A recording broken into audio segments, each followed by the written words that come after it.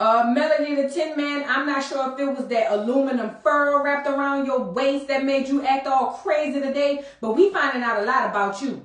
Y'all ready to talk about it? Cue the music!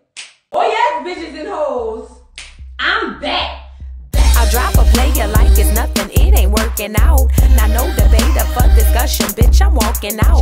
My time is money, I ain't loving, let you toast it out. Flip my weave and walk it out. Look how I just bossed it out. Now come on, baby, why you bugging? We can't talk it out. I keeps it moving, I ain't tripping, lost another spouse. I'm just a boss, it's in my blood, no, I won't scream or shout. Grabbing my keys. Cause oh yes, bitches and hoes, I'm back. Back with another video for the new year. What's up? Happy New Year, y'all. Um, you know, I took a little break because wasn't really going on. I didn't even know they was playing Love and Marriage Huntsville in um Real Housewives of Potomac until I started getting on Twitter. I said, oh girl, I'm behind. But I'm here with the video for y'all so we can get right into it. So this is uh season five reunion part one. Uh, I don't know, probably about three parts gonna be up in this thing. I'm learning a lot about the ladies. Uh, they all, all their mans is cheating. But I've been saying that. Uh, they all in denial, every last one of them. And uh, Mel had the stank attitude from the time she walked up on here and even picked a fight with Maurice. And for that, I didn't really understand. But let's get into it. So the episode opens up. Everyone arrives. Carlos goes around asking the people what their goals are for the um night. Kimmie said her goal is to watch the fireworks. Tisha said over there talking about what Carlos said. He said, "Woo, we gotta look out for the bully or something of the nature." And she said the one with the Mr. T chain. She was talking about Mel. That was a cute little dig. Um, Miss Wanda there, she dressed damn near like um Carlos. He he goes to see Martell. Martell is in, a, in a talking on the phone with Sheree. So he gets on the phone with Sheree and say, Hey Sheree, you know, what should we talk about for the reunion tonight? And Sheree was like, Well, he's a good father. He's a he's a good man, Savannah. He's a good, good, good man. Better than what you see on TV is what Sheree told told us. And you know, he might be a good man and a good father, but Sheree is not the person we want to get that type of information from because we saw how she was with Tyrone. If she could choose Tyrone, then we don't believe nothing you say, uh, Sheree. You are not a good source. But anyway, um, Carlos asked her if she in love, and she was like, the phone is breaking up, blah, blah, blah, blah, blah, blah.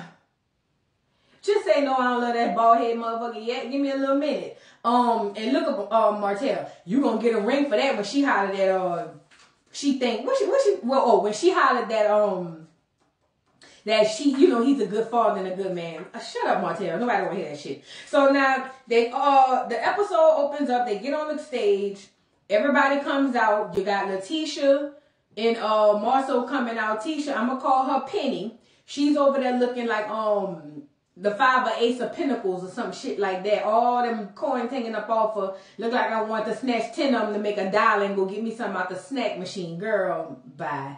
Um Kimmie, shout out to Kimmie, she done beat cancer and done turned into a whore. Kimmie, your outfit looked like you was going to a doggone sex dungeon party down there with Candy them. Or it looked like you was going, oh, you was a madam at a doggone uh, uh, uh, a, a, a, a whore house. That's what it looked like. It was cute, but listen, everybody was cute, but I just found digs in everybody. Um, you know, the men was dressed nice as usual. Uh, Martell, shout out to Martell. He didn't come up there with the doggone, um, the the old cloak doggone suits he be wearing looking like he way back in 1772 uh and then last but not least mel comes out wrapped in a whole ball of aluminum foil looking like a silver christmas tree ornament. But it was cute though. It fit real nice. It gave me melody the tin man. It was really really cute. Shout out to mel for that. You know what i'm saying?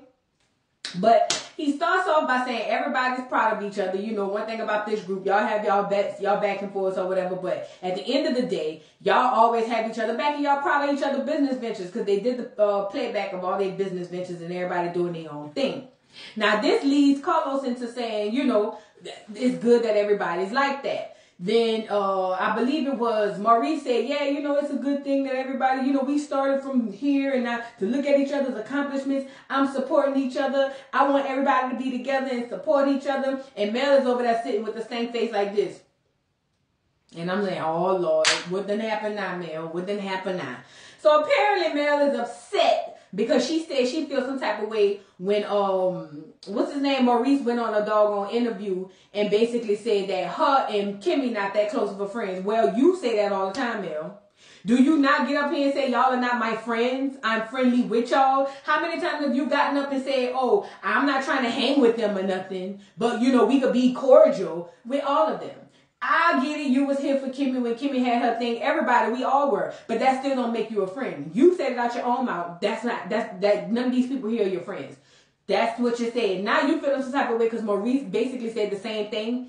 Kimmie interjected after uh, Mel was trying to get Maurice uh, together, aka uh, Martin Luther King is what she uh, called him, Maurice Luther King. And uh, Kimmie interjected and was like, "Well, Mel, honestly, you were there for me when I needed you. So you know, in that aspect, yeah, we're we're friends, but we don't shoot marbles together. We ain't going to get massages. We ain't at the gym. We ain't hanging out on a weekly basis. But you have been there for me. Mel's whole thing is, yeah, but I just didn't appreciate that because it looks like."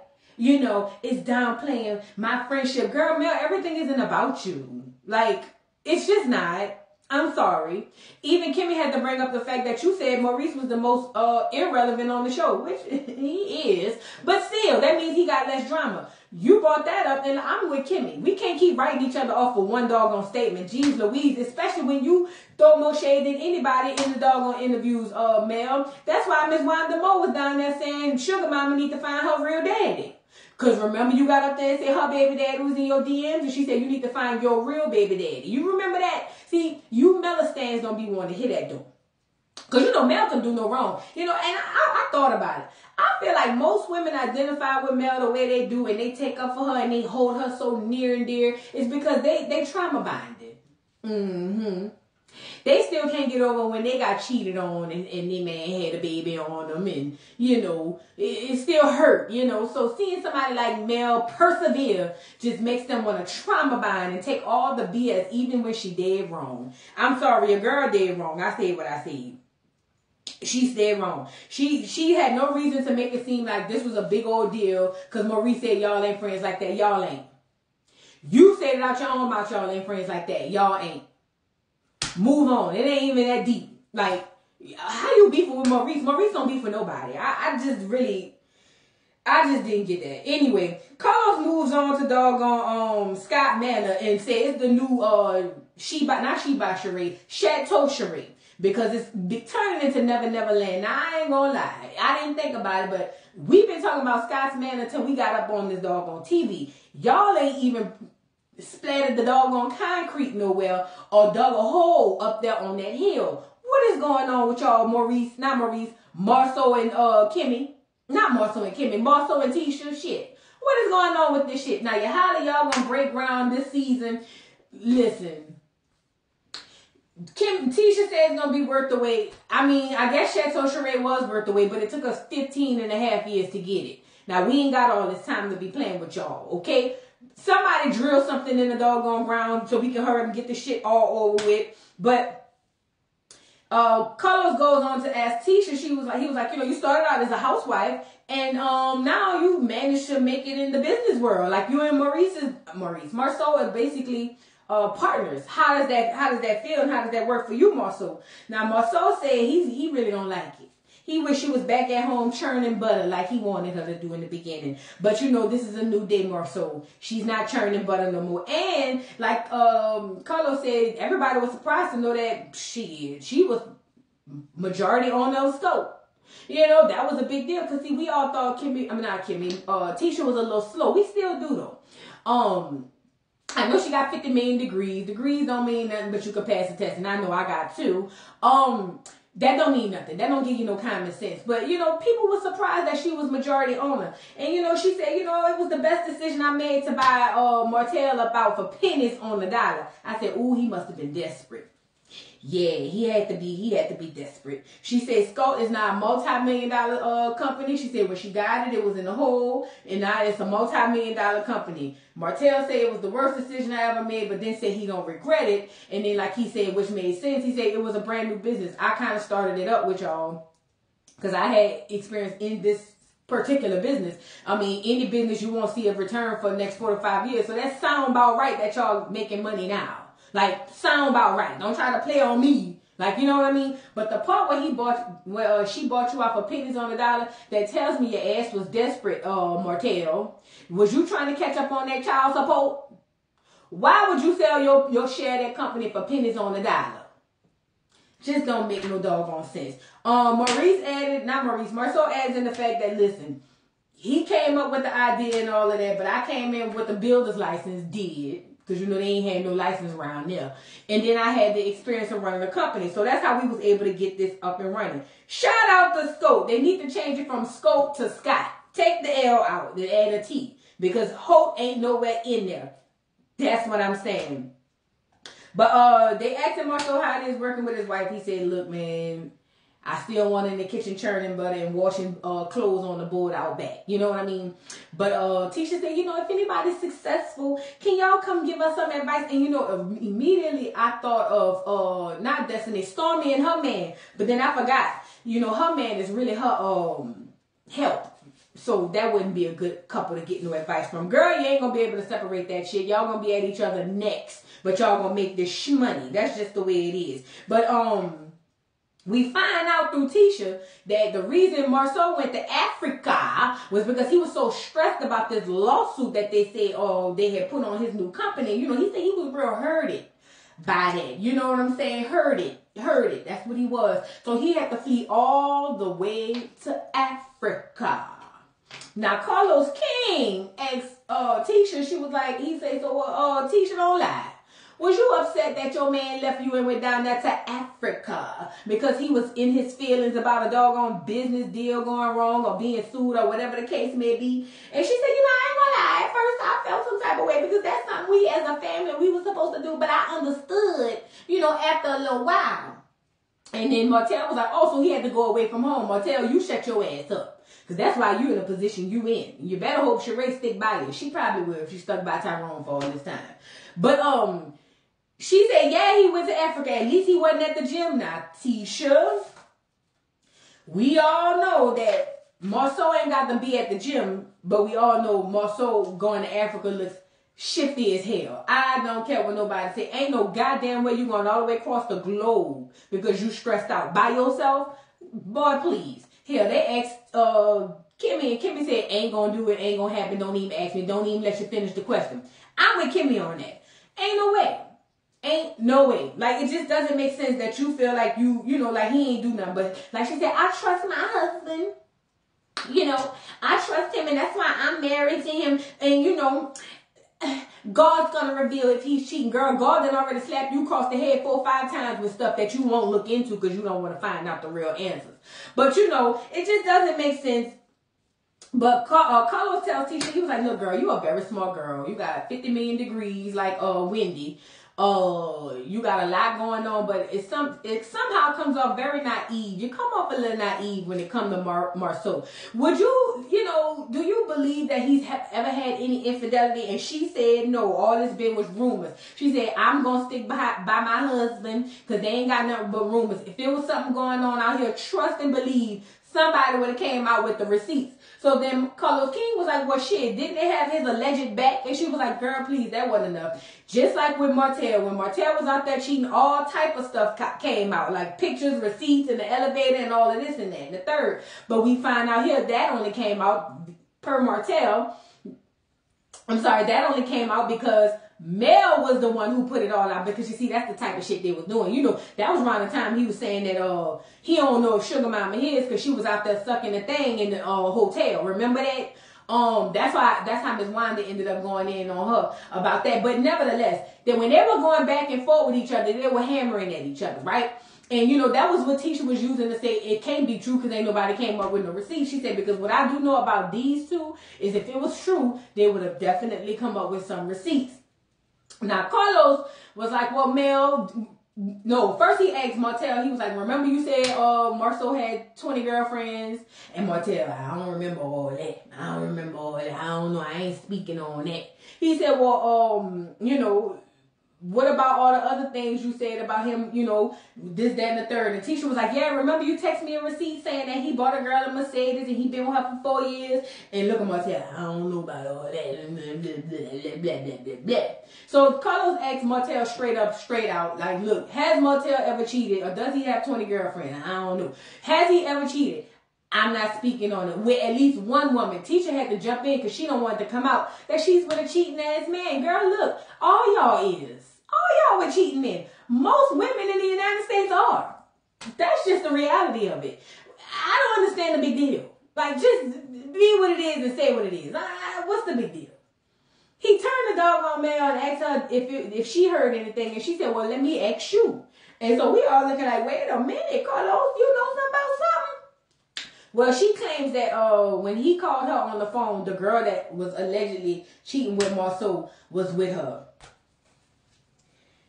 Carlos said, but I have never specifically heard no woman say, listen, you know, this is this is my man. This is who I've been sleeping with. I've been sleeping with him or whatever. Um, honestly, I feel like Mel tried to throw Carlos under the bus real, real quick. I mean, even if the girl was with you, did she get on there and say, hey, this is what it was? And was you calling Carlos or was Carlos calling you so y'all can conspire to get the girl up there? We'll find out here in a second. But um he turned to Tisha and said, Girl, look, would you leave your man if you find out he cheated in the past? No, I wouldn't leave him. I'm going to stick beside him. And then he was like, She was like, But ain't no proof that he did nothing. He was like, Well, didn't Chris Fletcher say that he wasn't with him all day out there in Atlanta? Oh, yeah, he said he was with him for two hours. But you know, still, I'm not going to leave my man. Let me say this, Tisha. I would rather you not look so stupid and naive than get up here and just say, Look, I don't whatever Marsau got going on, don't even bring it to me. I don't want to hear it. That's my husband, that's my business partner, my baby daddy. I'm not leaving him. It don't even make sense for us to even talk about it. Like, what's up? I would rather you say that than to act like you don't believe what people are saying is true. Because there's some truth to every rumor. That's just period. That's just the way the world works. But you gonna sit up here and act like, you know, your husband ain't this and your husband ain't that. Girl, whatever they said that nigga did, he did that shit. Say what I said. I don't care what nobody say, girl. You're over there looking naive. She said, and, but I, I will agree with Tisha with this. Tisha said, I would be a fool to leave my man off of rumors when nobody ain't produced no receipts. I give you that. But where there's smoke, there's fire. Girl, the woods is on fire, girl. It's a forest fire in your house. That's all I'm saying. Um, we already talked about him asking Mel, Mel acting like she don't know what the hell going on. Now, on the brinks of that, Tisha was like, "Oh, is that the girl you claim that? I mean, that you so called paid to come on the show?" And look at me, I never paid anybody. I would never pay anybody. Tisha came and said the girl called her and said, "Look, Mel was supposed to be my best friend, and she offered me five thousand dollars to come on this show and say I was sleeping with your husband. And the fact that she would get on TV and expose that, that really hurted me. So I had to call you and tell you, girl, it ain't true, it ain't true, it ain't true. Now, granted, if she'd have said more than five, maybe six, I would have got up there and did it. But she ain't have enough money, so I ain't pay her. Mel, I believe uh you was paying the girl. Sorry. Because even when Maurice jumped in and was like, well, how would the girl know about a girl stripping? How would the girl know about coming on the show? Well, it was a conversation that was had. And she asked for money and I told her she needed to talk to production. Why would she talk to you about money?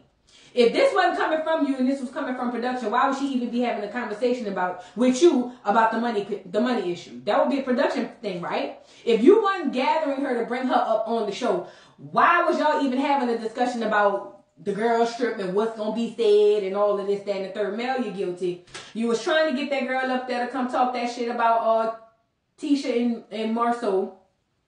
I feel like you've been trying to do that ever since you found out Martell Peanut Head has been cheating on you four years ago. I feel like you feel like since your marriage has went to the shits, you want everybody else's marriage to get to the shits. I also feel like you paid uh, Kiki to get her uh, line ass up there, just as we gonna find out here in a second. I believe you paid. I believe you paid these girls. I believe you offered to pay this one girl. I believe it all. Sorry. It just is what it is. I believe it. I just do. I mean, the shit just don't make no sense. How is all these people saying all of this? And Mel, you gonna sit up here and act like you don't know what the hell these people talking about? You you paid them. You offered to pay them. But you ain't have enough for this girl. That girl said that was too much to kill her reputation. You know what I mean? She wasn't doing all of that. So Carlos brings up the fact that you know they have their off-camera doggone conversations between the six of them, and basically says that they've they've already made a pact that there are certain things that are off limits. Uh, Martell jumps and hollers, yeah, the first thing off limits for Kimmie is having saying that Maurice is out after four o'clock in the morning, and he asked her why, and she said because it just gives women the um wrong the wrong what did, what did she say? It gives them the wrong idea. Oh, that your man is singer is running these streets. Oh, because at two o'clock is different from four o'clock. So if a woman see your man at two o'clock, she not gonna think he cheating. But if she see him after four, then he definitely cheating. Got it. Girl, Kimmie, you naive as well too. You naive as hell. Now this comes up and brings up the fact that um well before we get there, Marsau said we thought we made a pact, but them two heifers talking about Mel and Martell. As soon as they get a chance, they spilling our tea. Now Martell almost out of your ass, Marsau. You need to shut up, cause like Mel, like Martell said, we have a bro code, and it's a lot of things that I know that I ain't never seen. You really gonna sit up here and say we spill all your tea? Now I really could have really did you dirty now, Marsau. Hush your mouth. Hush, puppy, is what he was saying. I'm with you on that, Martell, because Martell knows way more than what um he's leading off the beat. So now this prompts Carlos to ask about this so-called rumor on Twitter that they used to have an after-hour spot where they was down there having a sex party. Talking about Maurice and them. Uh, Kimmie said she want to be transparent and, and add all out. She said, I ain't gonna lie. Back in the gap, which is back in the day, Maurice, Darius, Marsau, you know, and a couple of the dudes used to like to go sit and drink and, and hang out and smoke or whatever the case may be. And it was just a hangout spot. I had a little office up top. They just used to hang out at the bottom, but it wasn't no women involved. Kimmie, you're a damn fool if you believe that. I even asked my man, I said, babe, tell the truth. Is there a possibility what is the possibility of that being exactly what Maurice and Marsau saying it was? He was like, I ain't gonna lie, it's slim. It's slim. It's not that it's impossible. It's just not probable. Girl, you a damn fool. And then furthermore, why is you up there explaining to us what was happening and assuring us that there wasn't no women involved when your ass wasn't even there? Now, I get it. You got up there and said, oh yeah, but we wasn't dating. First of all, we wasn't dating around that time. You was smashing them. It wasn't official, but y'all was smashing. Say what I said. Um, but you're looking naive, fat. He ain't said nothing. He just sitting there talking about how he gonna sue people, and you said you over there assuring us that they ain't had no women around there. Even Carlos King said, as a gay man, ain't no group of men getting together often to go sit down and listen to the damn Beyonce. It just don't happen. No, that's not true because that's why they got black. Kimmie, you a damn fool. And look at Marsau trying to clear his name. See, I wasn't there as much, and like Kimmie said, but your ass was there. It don't matter. But uh, Maurice said if y'all out there saying that he had a sex dungeon party, y'all got a lawsuit coming. Stop playing on his face, that on his name. Um. But anyway, uh, Carlos said there's there's truth to some rumors. All, all rumors ain't stemming from complete falsity. I'm with I'm with him on that. So now he goes to Tisha and tells Tisha, look, girl, at the end of the day, I feel like there's a level of naivety, if that's how you say it. But you naive, girl. You in danger, girl you you you you come across like you're so intelligent, but you ain't gonna leave your man. We already knew that. Let's move on. They bring Miss Wanda Moore and Kiki to the stage, and they do the flashback of all of that. And Kiki was mad because uh, Kimmie and uh, Mar Mar Marsau not Kimmie, Tisha and Marsau told and Martell that she was around there addicted to them drugs. I'm glad they did, as they should. Because guess what? I would have wanted to know if you were sticking your damn nose in my medicine cabinets, stealing my damn prescription pills, and I don't even have none. But that is a need to know basis. Uh, Kiki, you out of pocket. You was going around people's houses stealing their drugs out their doggone medicine cabinets. M- medicine is expensive. Cause see, I'd have hunted you down and kicked your ass. Kick the pills up out of you. They had every right to tell Mel and Martell that what was going on with you stealing people medicine and all of that. How can you figure they don't have the right to do that? Girl, you got on my nerves with that. But um, they asked Mel why she invited Kiki to the house to the Christmas party, knowing why, knowing that she's Tisha's cousin and her and Tisha got beat. And Mel's whole response was, "It was my Christmas party. I actually knew, you know, Kiki, her and I have a mutual BFF, so I decided it was my Christmas party. I wanted her to come. Mel, you full of shit, cause you got her there just to ask her them leading ass questions for her to just be yes, Yes, Tisha did say that. Tisha did say that she, you know, she had some infidelity issues. She did say yes, she did. That's all you brought her there for, and we all see it. Kiki a little slow. We all can see that. I mean, nobody is denying that. Kiki a little slow. Maybe she, you know what? Kiki was on that shit. She might have needed that five thousand dollars. That's that's who got the five thousand dollars, if you ask me, allegedly. But um, Tisha brings up the fact that Kiki told her, Mel told her that she pulled her and Marsau's record down there at the city hall. Now, who you know down there at city hall? First of all, and then second of all, Kiki was like, "I said that." Yes, you said it, Kiki. Girl, stop acting crazy. Come on now, you're doing too much now. You you're doing too much. But um, Kiki was like, "Well, no, I think she just wanted to know how Marsau was able to um." Afford that car he had that accident in. Well, no, that's what Marsau said. And Mel was like, that's not true. People get calls like that all the time. Mel, I believe it. I believe it. Cause see, you the one that plays victim. Soon as you feel like somebody doing something dirty to you, and then you turn around and go pull people records and all of that. I believe every single word of it. Do I believe you went down there to see how Marsau was able to afford his car. Girl, all it takes is credit and a good down payment. You don't need to have that kind of money, girl. It's just what it is. Especially if he leasing, girl. Credit and a good down payment. That's it. But um Tisha basically uh is implying that Kiki is Mel's puppet and she leaves and she goes get these puppets. It was a key, not a key key, just a key. It was it was the what made it the the key that it was is how upset and how bothered Mel and uh Kimmie not Kimmie Kiki was. That's what made it more funny because y'all was really reacting to it. But yeah, she is a puppet. Um, Tisha the joke kind of fell flat, but it was funny because everybody else laughed and they didn't. That's the only reason why it was funny. But she got the doggone puppets out there saying that you're you're gonna be do what I say. Yes, I'm gonna do what you say. And the, the little wig, the blind to the side. I ain't gonna lie, that was cute. That was cute. Carlos basically brings up the fact that Kiki is over there pay, playing double agent. She being two sided. She over there talking shit to uh to to uh Mel and then turning back and going talk shit to Tisha about Mel. Uh and ask them have they always had this beef or is this something new? And we find out and for lack of better terms, but for not trying to say it all straight up, what it sounded to me was uh this is what it translated to me what Tisha was saying. Tisha said, me and this girl been friends and close we was in elementary school. That's my first cousin. We go back and forth. Kiki got a lot of mouth, but she ain't got no hands to back it up. So I can't handle all the mouth. So back in the day, we used to just fight, but then we'd be back cool because I would beat her up anyway. That's what I got.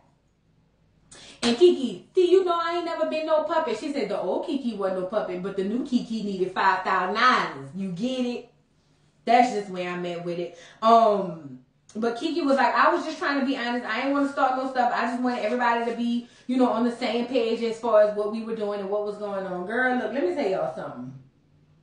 Kiki, you full of crap. Um, he asked you, Carlos asked you if she's ever said to you specifically that she was uh in in alluding or no, not alluding that Marsau was cheating, and you said no when you got on that doggone thing at the party and said she did, and then he asked if she alluded to it. She was like, "Well, this is the thing. Every woman, we don't want to hear about every woman. Did the girl ever tell you or make it seem like Marsau was cheating, and you tried to get that blanket ass answer? Kiki, you full of shit, and I know them five thousand dollars that ran out on your ass, and you're gonna need another five. Mel, I hope you done got another five for to come back next season. Because if not, the other people is exposing your ass. You're vindictive, you're dirty, and it's the worst part. Marsau is probably cheating. More, more than likely he is cheating, but it ain't gonna come out through you, Mel, because you're going about it the wrong way. Y'all drop down in the comments and let me know what y'all thought about this week's episode of Love and Marriage Huntsville Reunion Part 1. Girl, look. Kiki, you a treasonous heifer. And if I was Tisha, I'd kick your ass every time I see you. But then uh, Tisha, you got stuff to lose. She gonna try to sue you. Drop down in the comments and let me know what y'all thought about this week's episode. Please don't forget to like, subscribe, hit the notification bell, and I'll see you all later. Bye. Mr. Carroll, how you give the voodoo doll time to talk? I don't get no fucking time to talk. Who the voodoo doll is? The nigga you just had up here.